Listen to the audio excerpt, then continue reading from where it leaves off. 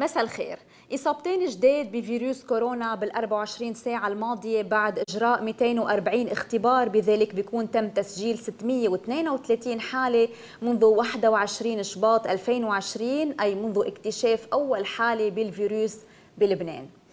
العدد اليومي للإصابات يتجه إلى الانخفاض بالفترة الأخيرة مثل ما عم نلاحظ باللون الأزرق بالصورة التالية يلي رح تمرق بهالأثناء. إذا وبالنسبة لتوزيع الحالات المؤكدة حسب الأقضية منلاحظ أنه بقضاء المتن يسجل العدد الأكبر من الإصابات واللي هو 127 إصابة. ليش تاريخ 13 نيسان سجل فقط إصابتين؟ هل هو مؤشر جيد أو هل في سبب معين أدى إلى هذه النتيجة؟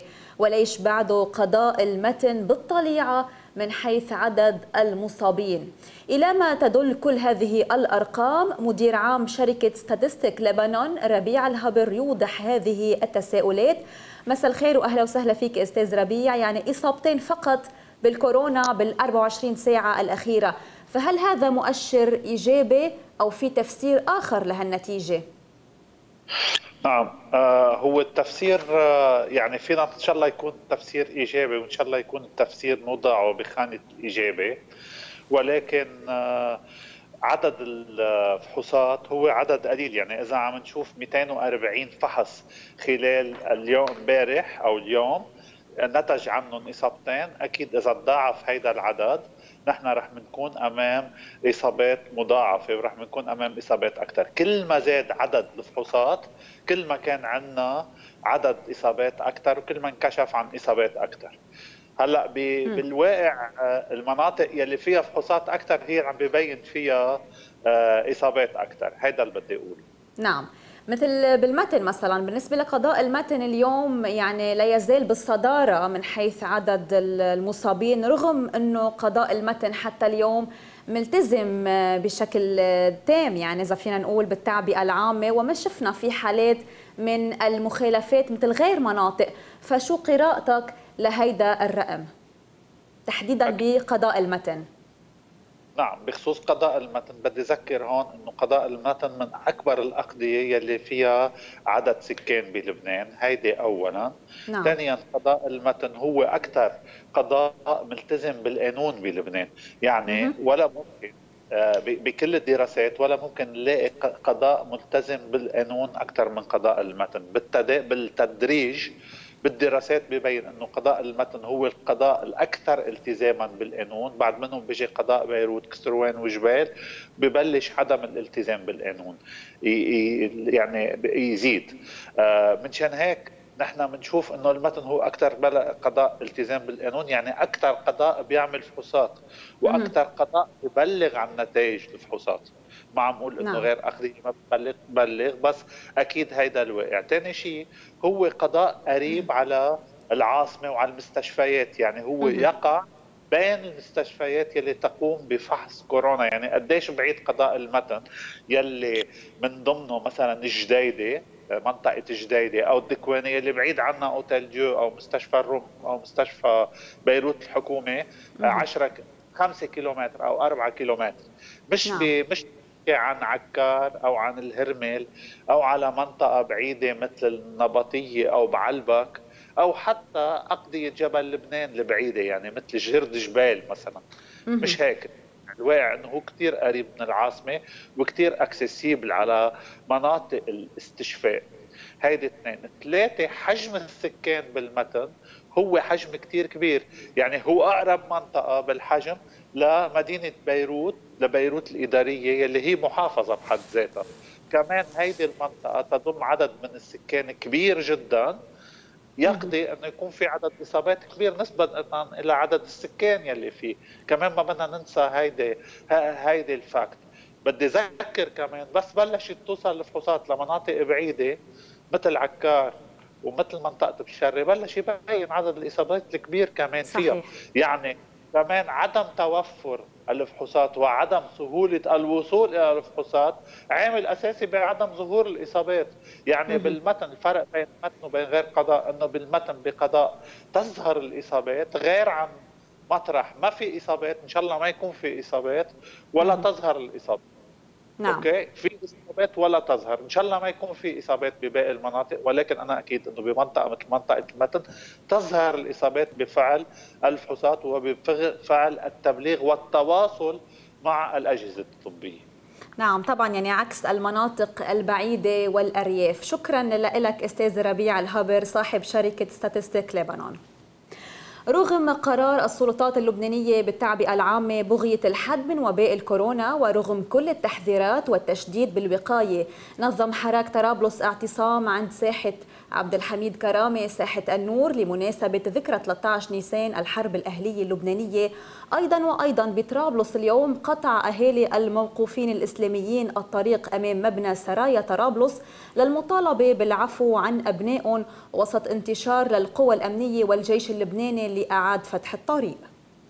نحن لما نخالف القانون اعملوا معنا اللي بدكم إياه، نحن هلا منا خالفين القانون، نحن عم نرفع صرختنا، صرختنا اللي هي من حقنا نصرخ وين ما نوقف، نحن جوعانين، نحن محرومين، نحن ناس موجوعين، بدنا نصرخ بشكل يومي. ضد الفساد وضد الظلام وضد السياسيين. إذا زلت على هذا النهج جاي حرب أهلية، جاي الحرب الأهلية عن يدك، نحن نازلين اليوم سلمية وما بدنا وما بدنا حرب الأهلية. يا فخوري ويا جبان. يا فخوري ويا جبان. يا عميل الأمريكان. يا عميل الأمريكان. ويسالوكم نحن مين ويسالوكم نحن مين نحن اهالي المظلومين نحن اهالي المظلومين بدنا العفو العام بدنا العفو العام اسرانا بدنا حريه حريه حريه حريه للإضاءة أكثر على الخرق اللي شهدته منطقة طرابلس اليوم بينضم لنا عبر سكايب محافظ الشمال القاضي رمزي نهرة. سعادة المحافظ أهلا وسهلا فيك. مدينة طرابلس مرة جديدة تخرق قرار السلطات اللبنانية وتخرق التعبئة العامة والتشدد بالقيود. فشو تعليقكم كمعنيين على هالموضوع؟ آه مساء الخير وأهلا وسهلا فيك يعني معك حق. مش أول مرة يعني بصير في خرق بس نحن يعني كنا بين آه، آخر اجتماع لمجلس الأمن الفرعي يلي عملناه بسرايا طرابلس كان في تشدد كتير كبير. مش بس على التظاهرات يلي عم بتصير ولكن على كل التجمعات آه، بالمدينة يلي صراحة من الصعب ضبطها. لأن طرابلس آه، فيها آه، كثافة سكانية كتير كبيرة ببقعة جغرافية صغيرة نسبيا آه، لذلك نعم. كان في قرار بالتشدد بمنع التجمعات كافة أنواع التجمعات وأكيد من ضمنها المظاهرات وكمان مثل ما بتعرفي بالصلوات يعني بأيام بالجامع أو بالكنائس. آه، مش قرار كمان من عندنا بس آه، قرار من دار الفتوى اجى إنه ممنوع التجمعات نهار الجمعة آه، على الصلاة. ولكن للأسف دائما في خروقات عم تصير. ولكن القرار هو حاسم طبعا وفقا لتعليمات معالي وزير الداخلية والبلديات إنه بمنع منعا باتا كافة أنواع التجمعات لأنه لا سمح الله في حال آه، تفشى الفيروس بطرابلس رح يكون في كارثة كبيرة لأنه مثل ما سبق وقلت لك آه، في عنا كثافة سكانية ضخمة بمنطقة صغيرة. نعم. سعادة المحافظ يعني بما أنه هالمشهد عم يتكرر تحديدا شو الإجراءات يلي رح تقوموا فيها كمعنيين لعدم تكرار هالمشهد والحفاظ على وضع طرابلس المستقر نسبيا يلي مسجل لحد اليوم حوالي 14 إلى 15 إصابة وما يتفاقم العدد أكثر بمدينة طرابلس. صحيح نحن لحد الآن آه، طرابلس آه، يعني مقارنة مع بقية المدن آه، اللبنانية يعني الحالات بالكورونا آه، خفيفة جدا نعم. طبعا بيعود للإجراءات يلي عم نعملها نحن يوم بيوم وبيعود للملاحقة الحسيسة يلي عم نقوم فيها. مش بس مش عم نقول إنه نحن أنا يعني آه، غرفه عمليات المحافظة آه، خلية الأزمة بلدية طرابلس قوى الأمن الداخلي الصليب الأحمر اللبناني مشكورين جميعا عم بيقوموا بمجهود كبير جدا وعم نلاحق كل شخص عم يكون مصاب واللي حواليه وعم نعرف منين وعم نقوم بحجرهم وعم يتم ملاحقتهم يوميا. والقرار واضح وواضح جدا لقوى الأمن الداخلي وسلطه بلدية طرابلس بمنع التجمعات. آه، بس مثل ما بتعرفي يعني أوقات بيصير في تجاوز. التجاوز ممنوع يعني ورح نعطي هلأ كمان ونحن آه، تعليمات إضافية وجديدة بال يعني بالحزم وبمنع آه، وجود هيك أنواع تجمعات يعني مظاهرات أو أو غير مظاهرات لأنه رح رح بنكون يعني بنكون بشيء بنصير بشيء ثاني كليا وهذا الشيء نحن ما بدنا إياه لأنه كل اللي عملناه لهلأ وكل الإجراءات اللي عملناها يعني ما بدنا تروح سودان والشهرين اللي شهر ونص اللي صروا العالم قاعدينهم بالبيت ما بدنا كمان يروحوا السودان. يعني كل العالم تكون واعيه كمان وسائل الإعلام ما عم عم تأثر عم توعي الناس ونحن عم نرجع نقول لهم ما بقى تعملوا تجمعات لأنه هالشيء رح يضر فيكم بالأول ورح يضر فينا نحن. وإذا فلتت الأمور من إيدنا يعني بتكون كارثة يعني كارثة على الجميع. صح. آه، سعادة المحافظ كمان بدنا نستغل وجودك معنا لنطلع على أجواء مدينة بشرة يلي اتخذ قرار بإقفالها وعزلها حتى إشعار آخر. هالقرار طبعا مثل ما صرنا نعرف تضمن منع دخول وخروج المواطنين من وإلى بشرة بهدف الحد من انتشار وباء كورونا. كيف بتنقلنا الصورة من بشرة هل في التزام تام بهالقرار؟ آه، يعني تفاجأنا نحن طبعا كلكم صرتوا تعرفوا آه، في أحد الأطباء يلي أصيب بالكورونا وبدون ما يعرف آه، نقل العدوى إلى أهل بيته وجيرانه وكل شخص كمان نقل العدوى للأشخاص الآخرين. وصار عندنا هالحالة الكبيرة يعني نوعا ما عم نحكي بمدينة بشرة مش قضاء بشرة مدينة بشري عندنا 52 53 حالة بيناتهم حالة حرجة آه يعني عدد كبير جدا آه بقياس مدينة صغيرة. آه نعم.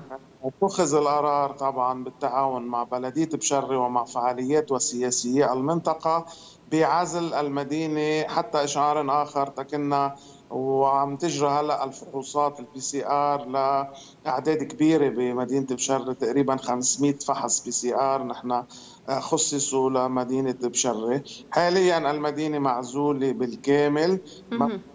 عن بيت حدا يطلع من المدينة إلا للضرورة القصوى جدا يعني بده يروح مستشفى بده آه شيء من هالنوع.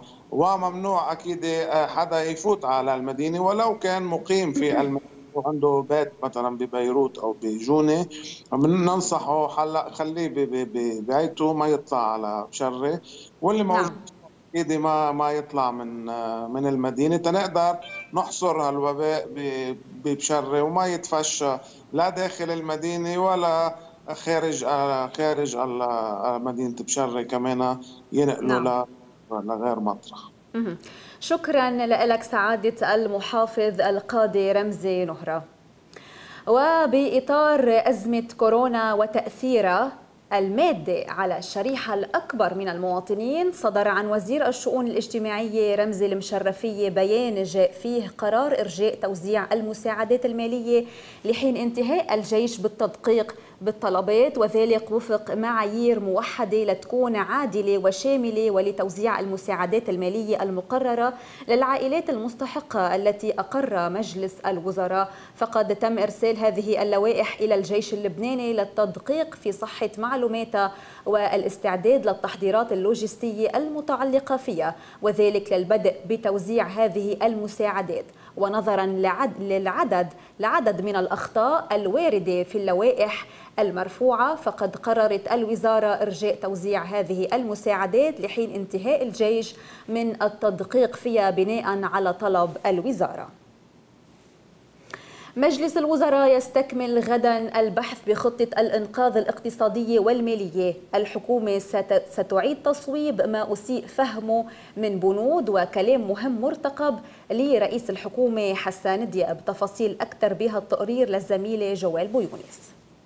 كما جرت العادة أخيرا كل ثلاثاء وخميس يعقد مجلس الوزراء غدا جلسته الحكومية المالية الاقتصادية بحيث ستطرح على طاولته خطة النهوض الاقتصادي المالي لاستكمال النقاش بها هذه الخطة التي وضعت بمتناول الإعلام وبدأ البعض يرميها بسهام سياسية ستوضع بحسب مصادر مطلعة على طاولة التشريح الحكومية بمعنى إعادة النقاش بكل بنودها وإعادة تصويب ما أسيء فهمه من بنود. وهنا تقول المصادر بالتأكيد برزت مواقف بارزة ووازنة نيابية من موضوعي ال haircut وال capital control. قد تحول دون ترجمة أي مشروع بهذا الخصوص لمراسيم أو قوانين لكن هذا الأمر لا يعني أن هذه الحكومة غير مدعوة لمعالجة الأمر بصورة تقنية فنية علمية سليمة تتجاوز فيها الاعتبارات السياسية فتطرح الممكن علميا وتستغني عما من شأنه ألا يكون متاحا أو مفيدا.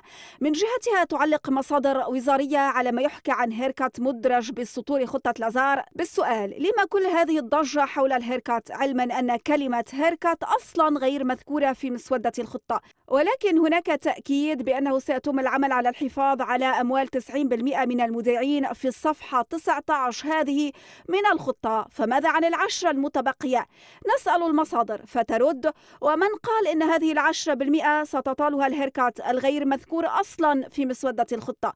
على أي حال تؤكد المصادر الوزارية أن جلسة مجلس الوزراء ثلاثاء ستشهد بمستهلها كلاما واضحا من رئيس الحكومة حسان دياب يرد فيه على حملة الاتهامات التي تشن على الحكومة بسبب مسودة الخطة وسيكون كلام دياب ويفي وكيفي بحسب المصادر. أما عن موعد إخراج الخطة نهائيا إلى الضوء والانتهاء من وضع النقاط على الحروف نهائيا بشأنها فمرجح في جلسة هذا الخميس في بعبدة أو خميس الأسبوع المقبل بحسب مصادر مطلعة. أما عن عودة المختلف المغتربين التي سيتم تقييمها بمرحلتها الأولى والتي توقفت الاثنين 12 نيسان فسترفع اللجنة المخصصة متابعة أزمة كورونا توصيتها للجنة الوزارية التي ستنعقد بعد الظهر وهي سترفع بدورها اقتراحاتها لمجلس الوزراء بعد تقييم الوضع الداخلي وعدد الإصابات بكورونا والمرحلة الأولى من عودة المغتربين. المعلومات في هذا الإطار تفيد بأن اقتراح اللجنة المعنية يشمل نوعا من استراحة مؤقتة من رحلات الخارج والتركيز على تكثيف الفحوصات الفحوصات اليومية بالداخل على أن يتم تقييم النتائج بعدها لتستأنف بعد فترة وجيزة رحلات إجلاء المغتربين لكن بطريقة مدروسة ومفصولة زمنيا أي عبر تخفيف عدد الرحلات الأسبوعية. لكن المشكلة الأبرز بحسب معلومات الأو تي في هنا تكمن في تحديد الدول التي سيسمح بإعادة تسيير رحلات باتجاهها. وفي هذا الإطار لابد من الإشارة إلى التغريدة اللافتة التي خرجت بها مستشارة رئيس الحكومة دكتور بيترا خوري أمس عبر تويتر والتي أرفقتها بهذا الرسم البياني قائلة إن المنحى لدينا لجهة الإصابات والوفيات بدأ يتخذ وضعا ثابتا علما أن لبنان لم يكثف بما فيه الكفاية عدد الاختبارات اليومية. فاصل مع الإعلان ومنرجع منتابع أخبار المساء.